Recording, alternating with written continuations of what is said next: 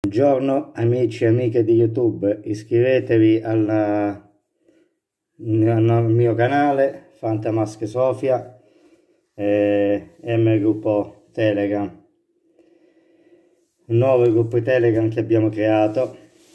E diciamo che parliamo un po' di questa, di questa partita. Mi ha rovinato la Pasqua, la Pasquetta, ieri sera è una partita dove siamo stati nel primo tempo e nel secondo, per tutta la partita praticamente siamo stati dominati dalla Lazio. C'è stata solo una squadra, la Lazio. Noi eravamo in difesa, sempre col solito gioco attendista, il solito non gioco attendista. Abbiamo subito varie volte, ci sono state occasioni con Castellanos eh, che poteva segnare, Scesni eh, ha rischiato anche di regalare un gol, Pedro è intervenuto in scivolata, poi per fortuna eh, sono riusciti a sbrogliare la situazione. Abbiamo avuto solo un'occasione con Bremer, fuori, poi ci sono stati anche dei cambi, una squadra ha messo in campo malissimo, ha messo Cambiasso esterno d'attacco, poi ha messo De Sciglio, eh, ha fatto un, una, una sorta di 4-3-3 difensivo.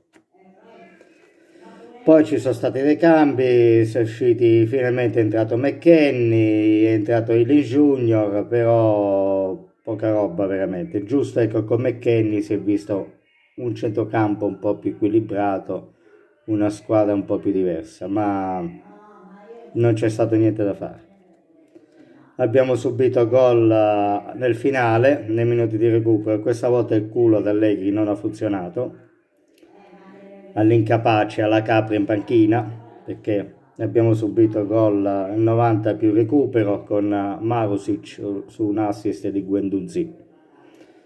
Anche qua ci sono stati dei cambi, il nuovo entrato da parte di Tudor. Tudor in una settimana ha saputo già dare un'impronta di gioco con il 3-4-1-2 alla sua squadra, mentre Allegri sono tre anni che il gioco non c'è, sono tre anni, non c'è mai stato con Allegri il gioco, eh? infatti vincevamo perché avevamo la squadra più forte, grazie, grazie al cazzo, è facile vincere una, con, quando hai la squadra più forte del campionato, i veri allenatori si vedono quando quella squadra più forte non ce l'hai e devi sopperire in qualche modo tramite il gioco a, a dar fastidio alle altre. Come ha fatto per esempio Pioli quando ha vinto lo scudetto col Milan anche se là gliel'ha regalato l'Inter. Però come ha fatto Spalletti con Napoli questi sono i tecnici. Lui è un non tecnico sulla nostra un, usurp un usurpatore sulla nostra panchina. Porca puttana Oggi sono pure, mi sono svegliato pure di malumore, ieri ho preso sonno verso le 3, alle, alle 4 sono andato a dormire, alle 4 di ieri sera. Meno male che sono andato da un'amica a mangiare la pizza e quindi la serata è stata diciamo un po' meno amara, però, però così non si può andare avanti. Adesso eh, l'Atalanta ha vinto, ha dato la lezione al Napoli, ha vinto 3-0. Un Napoli un po' moscio, a dire la verità.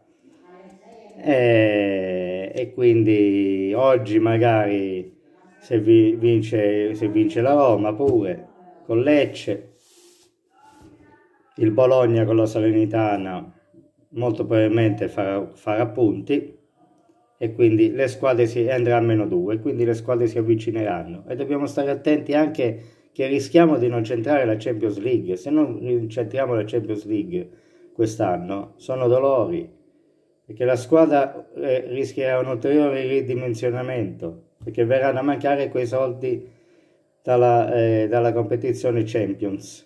Per fortuna che c'è questo mondiale per club che per 50 milioni ci ci aiutano un pochettino. Questo se ne deve andare subito, se ne doveva andare subito dalla Juve, Purtroppo abbiamo Elkan che non capisce un cazzo e quindi lo tiene là, lo tiene là in panchina.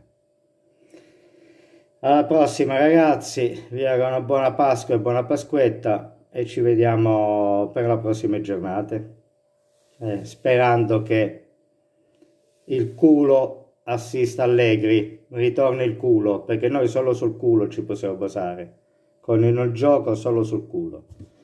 Che dire, sui giocatori, ma Cambiaso non l'ho visto male, Bremer eh, in fase difensiva l'ho visto abbastanza bene, anche pericoloso in attacco, eh, anche se lui qualche piccola leggerezza in partita se la concede, ma ci sta, visto che deve reggere quasi lui solo il peso dell'attacco. Poi Rugani, diciamo discretamente bene, anche se ha rischiato di farsi autogol con quella, quella palla all'indietro data Scesni di testa, gliel'ha data un po' forte.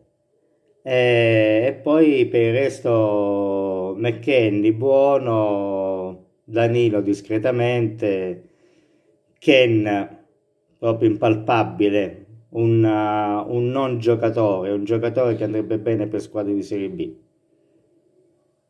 o per squadre di centro-media classifica e quindi tutto qua. Mancava Vlaovic, mancava Melik, eh, Idiz, poi l'ha tenuto anche in panchina. Non capisco perché Chiesa è stato, ecco, Chiesa ha creato anche due, due o tre occasioni. In Chiesa diciamo da sei e mezzo, io direi sei e mezzo perché deve, non può fare tutto da solo Chiesa infatti non trovava mai il compagno a cui dare la palla per eh, creare un'occasione pericolosa. C'è stata solo quell'occasione che ha tirato e Mandas, il portiere Mandas ha deviato il pallone. Quindi quando, quando ha, ha le occasioni Chiesa si rende pericoloso, si rende pericoloso da solo, figuriamoci quando c'è qualche rarissima azione da parte della Juventus eh, di qualche giocata corale. Ragazzi, io non ho più parole, non ho altro da aggiungere. Vi saluto. Commentate sotto il mio video come sono andati i vostri fantacalcio. E fatemi sapere anche la vostra impressione riguardo la partita. Sempre Forza Juve e Allegri out.